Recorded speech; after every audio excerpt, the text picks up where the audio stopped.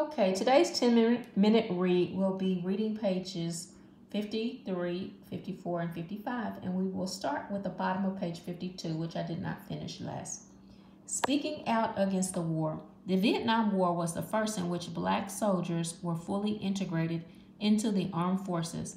Although African Americans were just 11% of the total population in the United States, they made up 12.6% of American soldiers in Vietnam.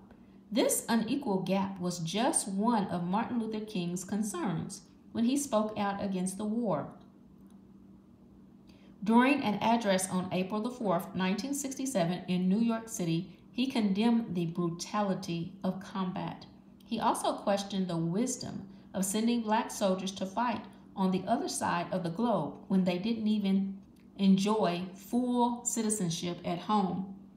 King was among the first civil rights leaders to oppose the war.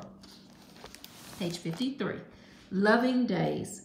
Marriage between people of different races was against the law in 17 states in 1967. To avoid trouble, interracial couples living in those states often had to live together in secret. Richard and Mildred Loving tried to do that after they got married in 1958, but Virginia police raided their home and arrested them. Convicted of a felony, the couple avoided jail by agreeing to leave the state. They moved to Washington, D.C., where they were often lonely and homesick. In 1964, Mildred Loving filed a court motion that eventually resulted in a Supreme Court case. On June 12, 1967, the High Court overturned the Lovings' conviction. The justices ruled that the right couples to marry was constitutionally guaranteed. From civil rights to the Supreme Court, by 1967, Thurgood Marshall was no stranger to the Supreme Court. He had argued 32 cases before the court during his days as a civil rights lawyer. Since 1965, he had served as Attorney General, representing the U.S. government in the nation's highest court. Although he had, more, he had no more experience than most lawyers, he was still met with opposition when President Johnson nominated him to become a Supreme Court justice. On August 30th, after heated arguments, the Senate confirmed Marshall's nomination. He was sworn in two days later, becoming the first African American in history to fill the prestigious post. Marshall served until his retirement in 1991. In recognizing the humanity of our fellow beings, we pay ourselves the highest tribute. Thurgood Marshall.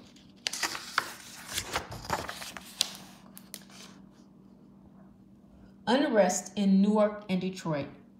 Of the many uprisings that erupted across the country in 1967, the most devastating ones took place in Newark, New Jersey, and Detroit, Michigan.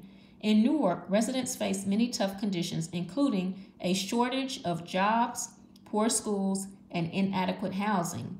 The riots began follow, following the arrest and beating of a cab driver.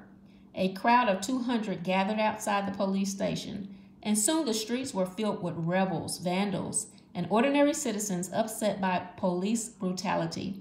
The destruction continued for four days, leaving more than 1,000 police, uh, excuse me, 1,000 brutally, 1,000 injured and 26 dead. Wow.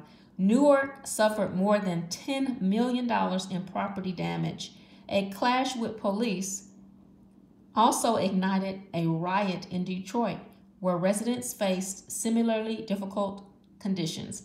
At the governor of Michigan's request, President Johnson sent in more than 2,000 Army paratroopers to patrol the streets in tanks four days later. 43 people had been killed, another 7,000 had been arrested, and 1,400 buildings had been burned. A report commissioned by President Johnson determined that 83 people had been killed and 1,800 injured during civil disorders in 1967. The majority of those wounded were African American. Stokes and Hatcher. African Americans improved voting rights quickly led to the elections of several black politicians. Carl Stokes won the mayoral election in Cleveland, Ohio, and Richard Hatcher was victorious in Gary, Indiana. Both men were sworn into office on January the 1st, 1968. Fall of a King. On April the 4th, 1968, Martin Luther King was shot to death while standing on a hotel balcony in Memphis. He was 39 years old. His murder was the third assassination of a major black figure within a five year span, including those of Medgar Evers and Malcolm X. Kings.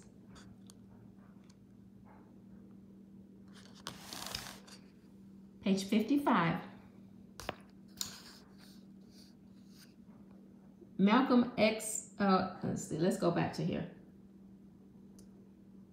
Including those of Medgar Evers and Malcolm X. King's loss was deeply felt in African American communities across the country, some which erupted in anger and violence. Many also feared that his death signaled the end of peaceful protests and significant civil rights gains. King was had anticipated that his work on behalf of the poor and oppressed might lead to his death. He asked that he be remembered as a drum major for justice, now widely regarded as one of the greatest African, excuse me, as one of the greatest American leaders. His birthday is celebrated as a national holiday every January. Shirley Chisholm. Until Shirley Chisholm, no African American woman had ever been elected to Congress. Her victory in 1968 changed all that. Born in Brooklyn and raised for a decade in Barbados, Chisholm ran a daycare center and served as a state legislator before running for Congress. In the June general election, she scored an upset victory over James Farmer, the well known former director of the Congress of Racial Equality.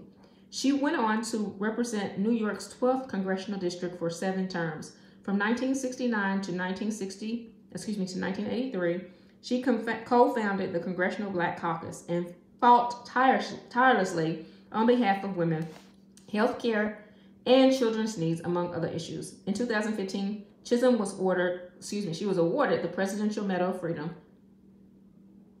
posthumously, meaning after her death. Olympic medals raised fist. During the Summer Olympics of 1968, the unrest felt in Black American communities spread all the way to Mexico City. Sprinters Tommie Smith and John Carlos were both members of the Olympic Project for Human Rights, OPHR. The group's mission involved exposing racial segregation in the United States and race, racism in sports in general. Although its proposed boycott of the Olympics never gained momentum, OPHR still managed to make its presence felt. When Smith and Carlos won medals in the 200 meter race, they mounted the medal platform wearing black socks instead of shoes. The socks, they later explained, were meant to symbolize black poverty. As the U.S. national anthem was played, each man bowed his head and raised a gloved fist. Their fellow medalist, Peter Norman of Australia, wore an OPHR patch in support of their protest. Both American athletes were heavily criticized. They were allowed to keep their medals, but were expelled from the Olympic Games and sent home. Today, their Black Power salute is often praised as an act of courage. In 2005, a statue honoring the sprinters was installed on the campus of San Jose State University where both men had attended school. And let's see, we have time for another page. Well, I'm going to save that for the next video. All right.